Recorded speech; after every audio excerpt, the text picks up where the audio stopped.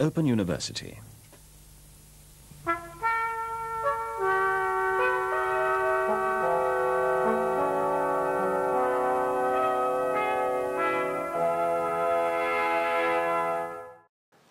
Hello, um, book haul, book haul video today. I had a, a very colourful and interesting weekend, um, slightly overshadowed by um, physical delicacy because I was um, I had one of my optic nerve headaches on Thursday.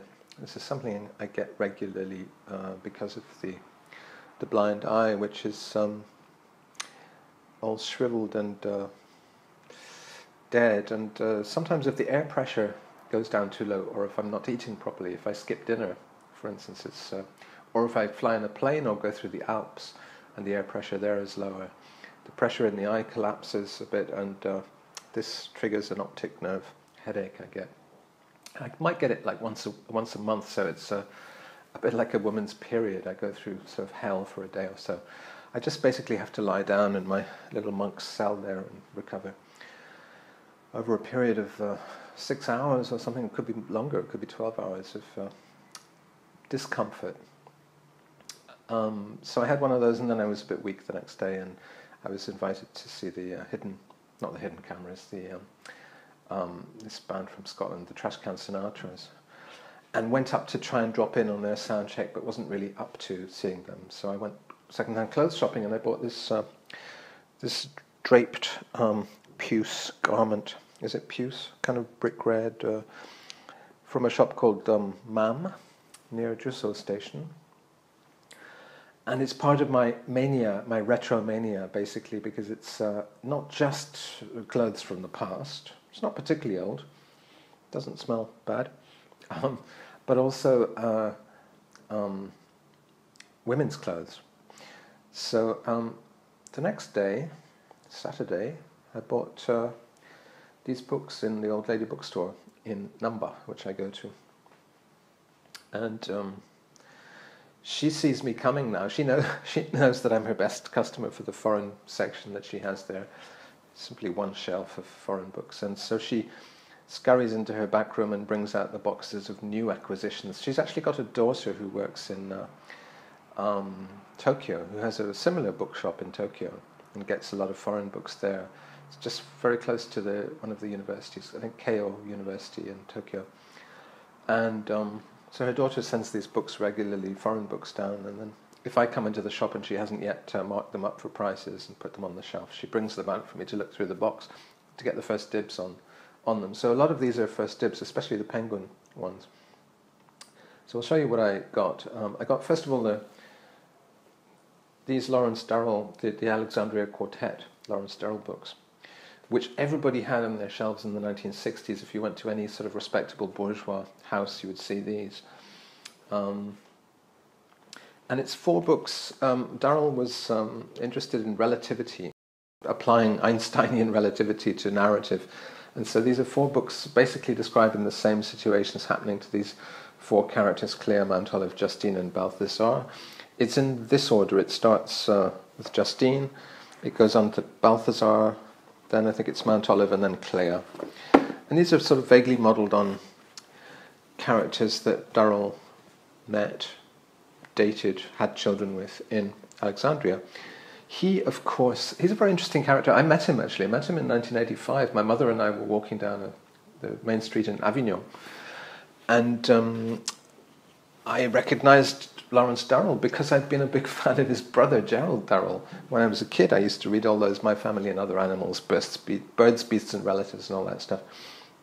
But also because uh, Lawrence Durrell had been on TV fairly recently there was a, a, really good 1976 documentary called Spirit of Place, which you can find on YouTube, and I very much recommend. Go and watch that. In which he talks about, he, he revisits Corfu because the Durrells were born, the brothers were born in India. They were sort of colonial British administering India. And then they um, came to, uh, uh, came back to Britain and um, there's a memorable scene at the beginning of My Family and Other Animals where Gerald describes Larry. Larry is this sardonic and pompous and super bohemian character in, in Gerald's books, who's kind of unbearable and, and a bit of a prig and a prick. but um, Larry is described as saying they've all got a cold and they're all sneezing on each other, and Larry just says, "Let's leave this fucking awful country." It doesn't swear because it's a children's book. Let's leave this awful country where people are just sneezing down each other's necks in circles, and go somewhere nice and sunny. So they decide to go to Greece, and um, they live there in the 1930s until. And, and, and then Gerald is doing his sort of menagerie experiments. He later becomes a zoologist and zookeeper. Um, Larry become Larry almost wins the Nobel Prize for literature, although he's considered a little bit dark and you know sexually obsessed. some kind of darkness which makes the Nobel Committee uh, pass him over in I think 1962 or something. Um, but he, he's like the best friend of um, uh, Henry Miller and people like that, and uh, you know, interesting guy. So when, when I met him with my mother, uh, we, we my mother, being rather bold, we just went up to him and said, uh, "Oh, Mr. Durrell, uh, how nice to see you here. We're tourists um, in France, but we used to live in Greece, as you did, and of course we read your books about Greece and stuff. So Prospero's Cell and things like this, which are set in Corfu. Um, so would you like a pastis? So we took him to a bar. He was very friendly and possibly a bit lonely. I later found out that his daughter Sappho had died that same year, so perhaps he was in mourning over that. Um, and I remember him saying he'd been given some med- medallion or something by the French government, and he'd been asked to come up to Paris to receive that. And he was sort of grumbling about what a hassle it was to have to receive these honours and medals, but in a slightly humble, braggy, boasty way. Um, and then my mother really embarrassed me by saying, Oh, but Mr. Durrell Nicholas here is a writer too, which I very much wasn't at the time. I hadn't written anything. I, I was scribbling short stories or typing little short stories, but I was kind of a writer type, you know. So, and he asked a question or two about uh, my writing. But luckily, I was able to ask him an intelligent question about Provence. He was working on a non-fiction book about Provence at the time, where he lived.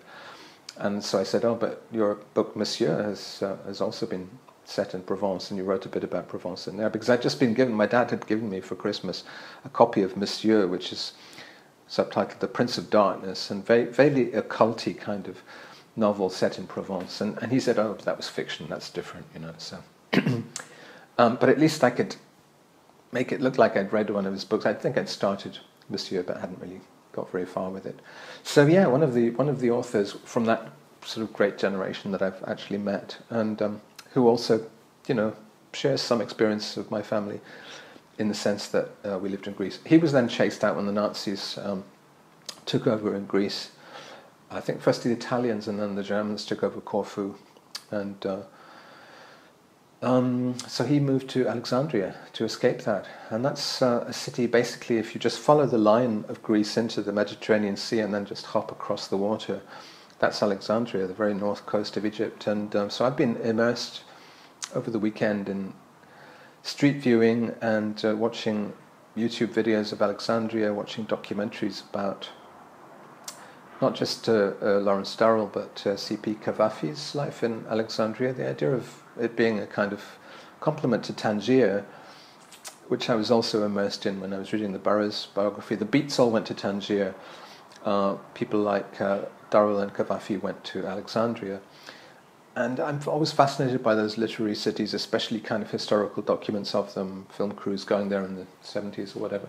I was also watching some, some really good ha- Henry Miller stuff. There's a great documentary called Miller's Odyssey, made in 1969 and of course Spirit of Place, made in '76, I think.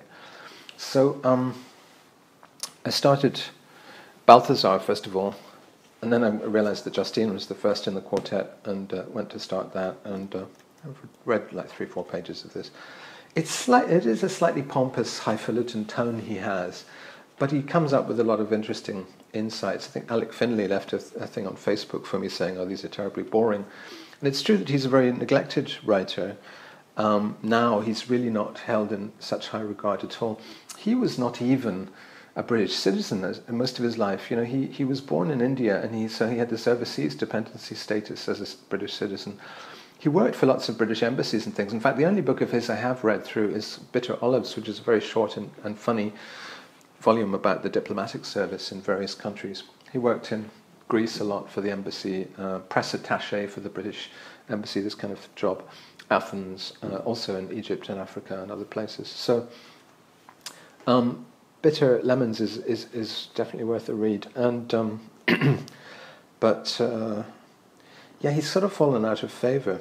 And uh, I guess part of the, my reason for getting these, which were like 150, 200 yen each, so you know, like one pound fifty each, pretty cheap, was just for their physical, the physical reminder of people's bookshelves in the 1960s because everybody had these. And um, you know, I, I, like. It's not that I live in the past. It's just that there's something. As somebody else commented on Facebook, um, something satisfyingly bookish about old books that you really get into as a refutation of the digital, the, the preponderance of the digital in our lives. So, uh, Lawrence Durrell, I may persist with those, I may not. I may just have them in this talismanic way as objects on my shelf. I also got, um, I didn't get both these, I just got one of these Evelyn Waughs, but I, I put both to show you because last time I was there I got this handful of dust. And this is Decline and Fall, which I actually did have at boarding school when I was 12. I had a little locker. The pathetic but kind of interesting uh, thing in, in, boarding school is you're in a sort of communistic society, a total institution, as Talcott Parsons sort of called it, where you um, have one tiny locker for your personal property, some of which is forbidden, which is not allowed. Um, um, so some things were confiscated from me. My tape recorder, they didn't even know, the boarding school authorities didn't know what a tape, cassette tape recorder was because they'd just been invented. So they said, that's a transistor radio, and they, they weren't allowed. There was no rule about whether you could have tape recorders. So, but they classified it as a radio. It didn't even have a radio in it uh, and took it away.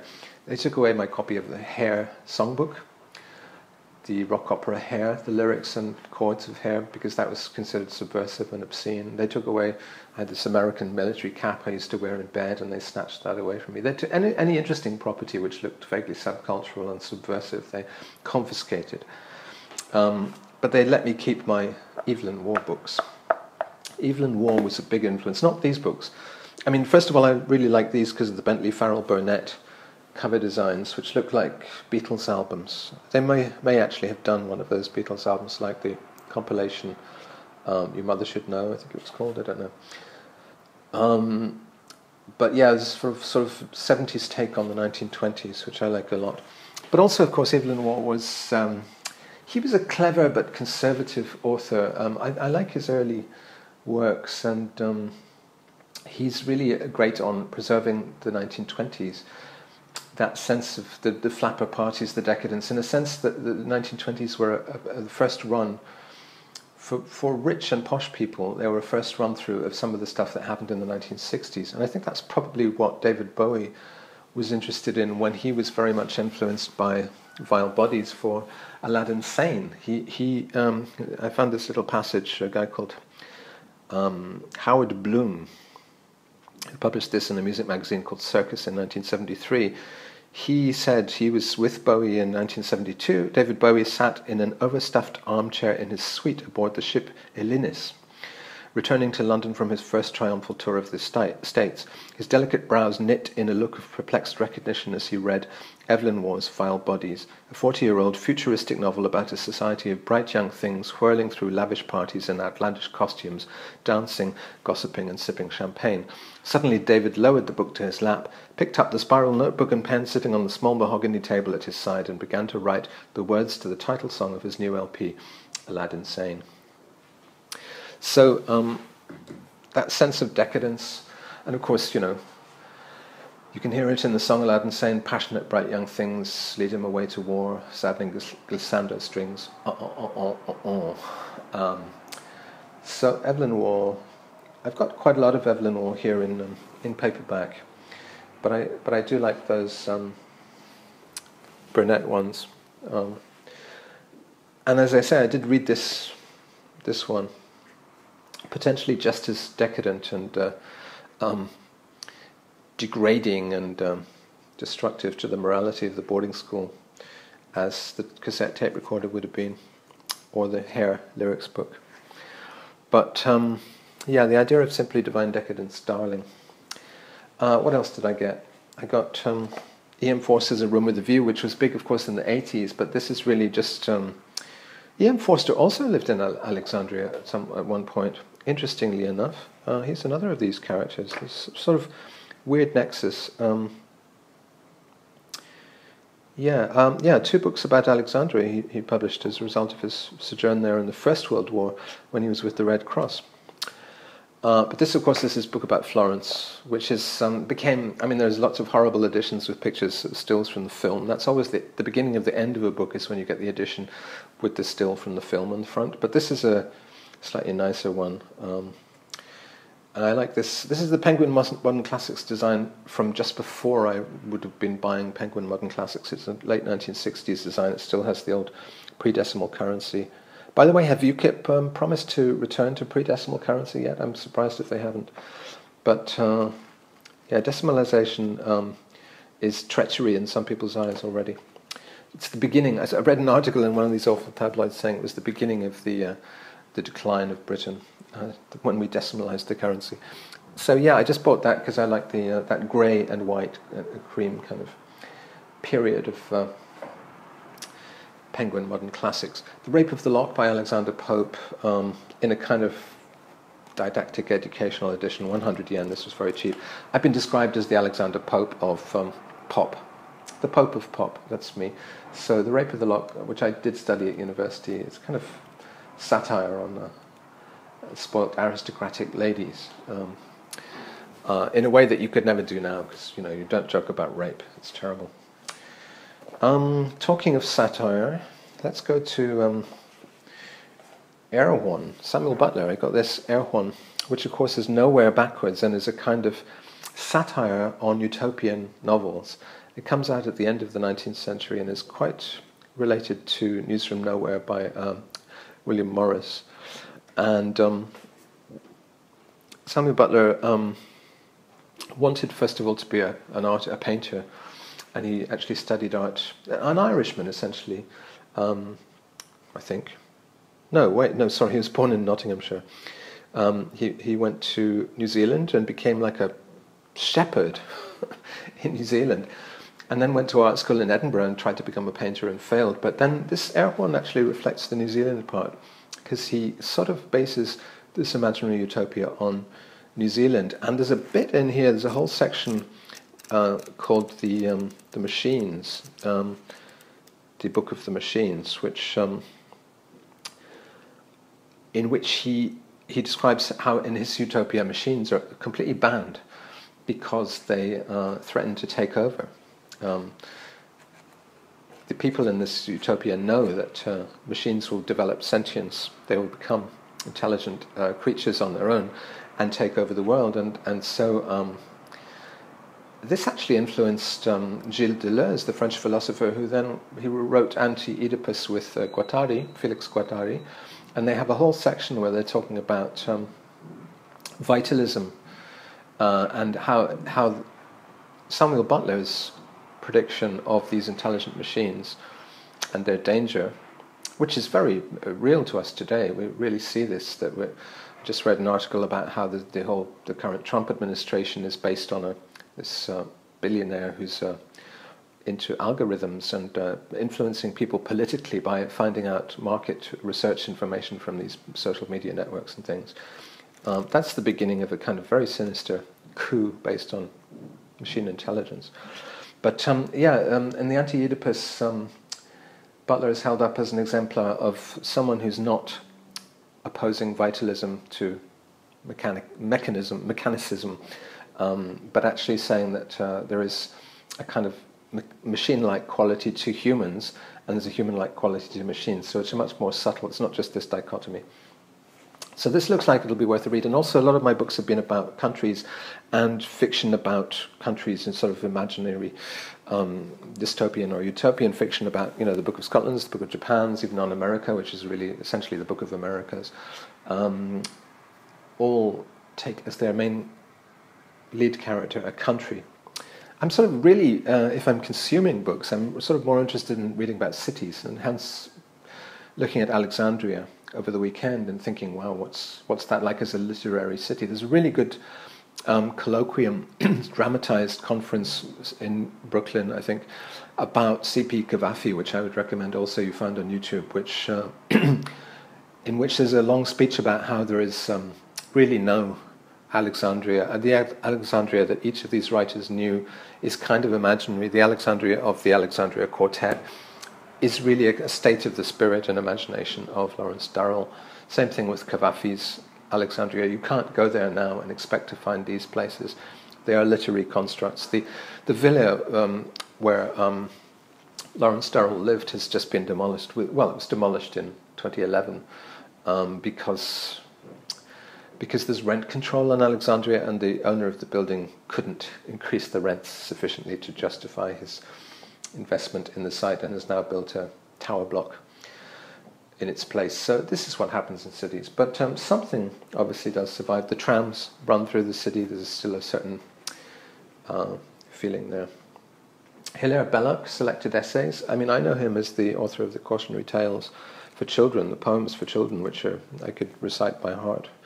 But uh, these are his um, essays, which are probably humorous, um, interesting, in, on London and the houses in it, uh, the servants of the rich, the honest man and the devil, the letter.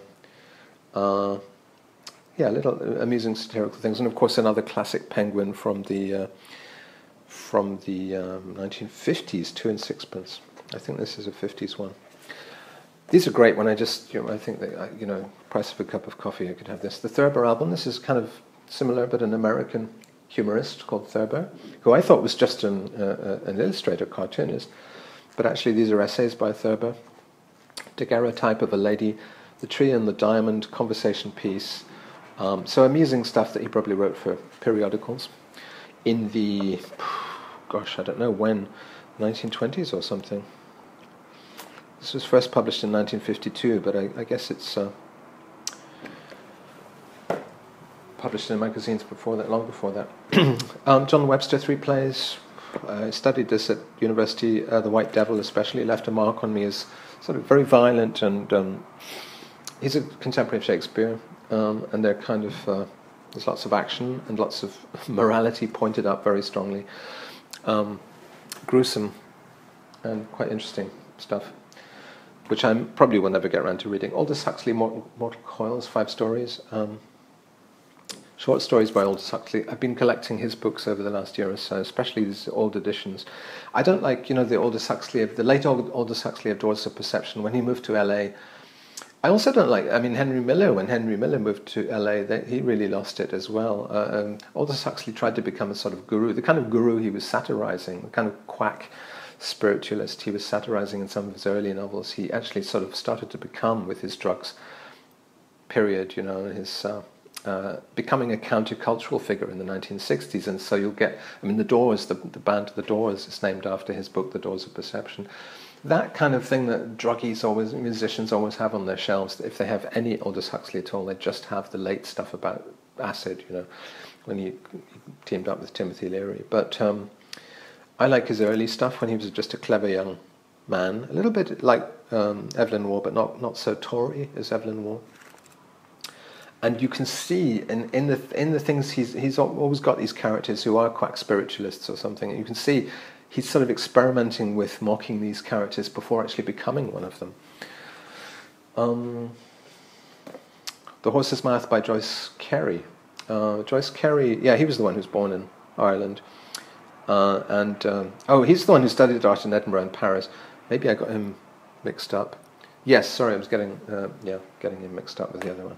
Joyce Cary, um, most famous for this this novel. This is the most famous novel. It was made into a film the year after he died. He died in '57. It was made uh, by Alec Guinness, actually, who even wrote the bought I think the rights to the novel, wrote the script himself, and then starred as this character Gully who's released from prison, who's a sort of bohemian artist. So very much drawing on Joyce Cary's um, experiences, uh, trying to be a painter in Edinburgh College of Art. Um, uh, but he's um, Gully is a kind of outrageous, scandalous bohemian who doesn't who doesn't pay any attention to bourgeois morals and um, is sort of amusing and troublemaking for that reason.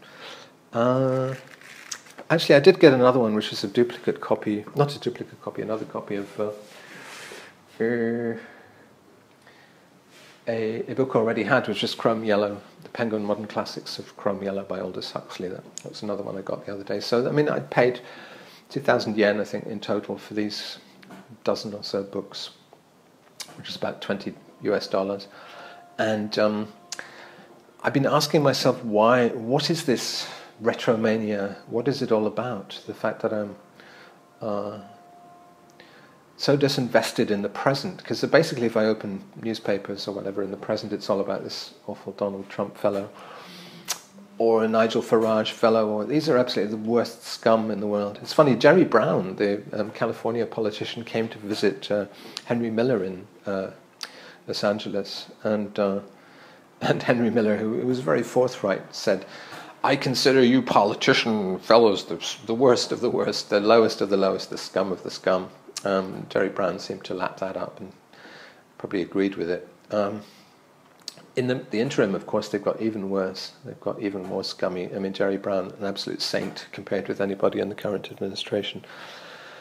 But uh, yeah, I suppose I, I'm an expat in more ways than one, and I think the, I'm sort of spiritually expatriated, uh, or an immigrant, if you prefer that word. I mean, this word expat is uh, is perhaps overused and uh, discriminatory because if you're the wrong color, you're an immigrant, and if you're white, you're an expat. But um, basically, it's about being an internal exile, uh, and therefore about um, stuff that I've been talking about in these these little talks, like um, uh, abjuring or renouncing or standing back from things that you don't like, filtering. I also talk about a lot all these things. I mean, obviously, the old lady bookshop is a way to filter out everything in my own culture except things from very literary and high minded things from 40, 50 years ago, from the 20th century. And uh, the same with clothes. I can filter out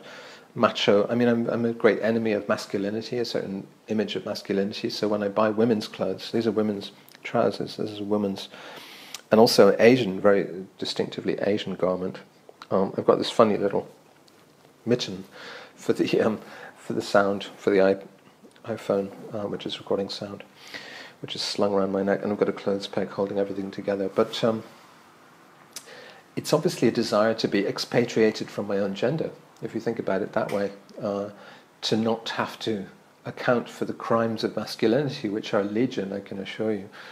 Um, and and of course, I am I am pretty masculine guy. I have a penis, um, believe it or not. I am uh, um, rather led by my by what what dangles between my legs. In the famous words of uh, Ian Gittins, the rock writer, why is Momus, this tender bedsit poet, led by what dangles between his legs? This was the review he wrote for um, I think Poison Boyfriend, or maybe it was Tender Pervert as if he believed in me, if, if there could be a me that was sort of independent from sex. And this is also what the, the Nobel Commission said when they uh, decided to pass over uh, Lawrence Durrell. Why is he so obsessed with sex? You know, this monomaniacal, I think was the adjective they used.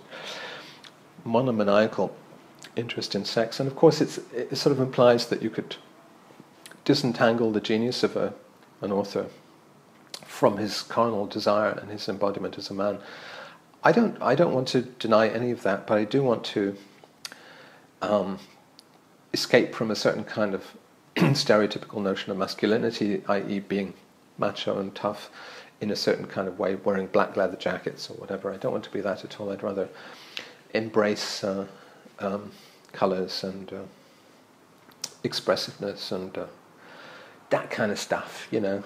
So um, I, I, probably um, my camera only does 29 minutes. That's why these Open University things are less, always less than 29 minutes. So I've probably done something like that now. I wanted to talk a little bit more about maybe this idea of being a, an expat, not just in space but in time, and retromania and all that, that stuff. But um, there probably isn't time. There's lots of other opportunities, broadcasts. So, Open University